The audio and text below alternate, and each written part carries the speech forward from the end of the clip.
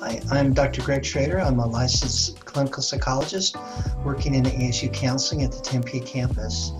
My name is Rachel Bahadur, and I'm the Associate Director and Clinical Director um, with ASU Counseling Services. So, identity development is part of our lifespan as human beings. And, and so, for students who are uh, gender or sexual minorities, um, it's also a time of tremendous growth, of finding out who they are and what their identities are. And um, it's a process of exploration as well. Um, there are different models for identity development, um, and in all these different models, there are different stages. Um, and so, in those stages, it can range from identity confusion to identity acceptance, um, and then there's a range of stages in between that.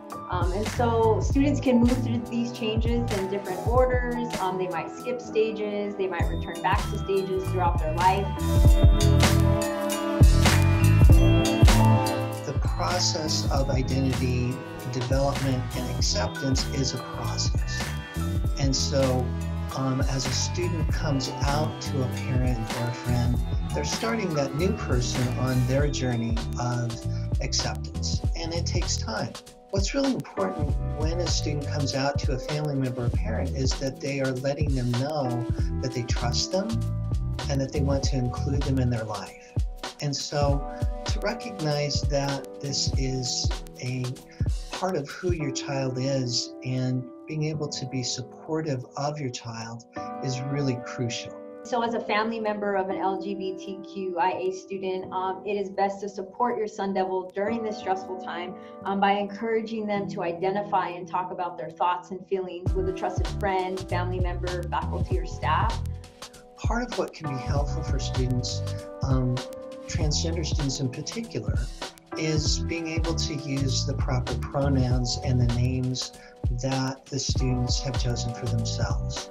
And sometimes for older people, it takes a while to catch up. But what's important to know is that you're making the effort. Um, the one that is most well known and inter- is international is called PFLAG, Parents and Friends of Lesbians and Gays.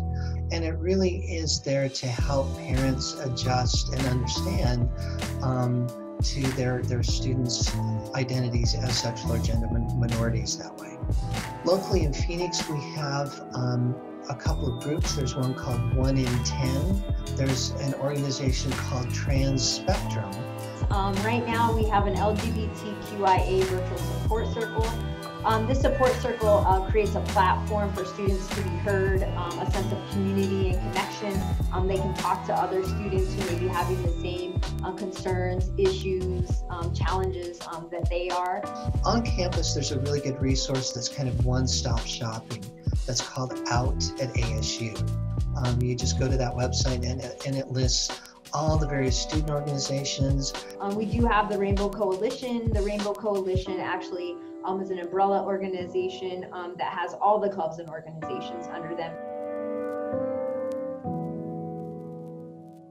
Resiliency for any human being is a really important factor. Resilience, right? The definition of that is the capacity to be able to recover from a difficult uh, or tough situation for students who are sexual and gender minorities, um, a lot of times the outside world is not a very welcoming place. LGBTQIA students um, participating in academics and also working um, to find their identity can be super stressful. And so ASU is a very welcoming and inclusive community that way. So helping our students be resilient really is um, helping them get the support that they need, um, get the resources that they need, and um, to help them be successful with their careers and, and to graduate. So, what I know about LGBTQ students is that um, despite all of these experiences, um, they do rise up, um, they overcome, they use these opportunities to exercise resiliency in their lives.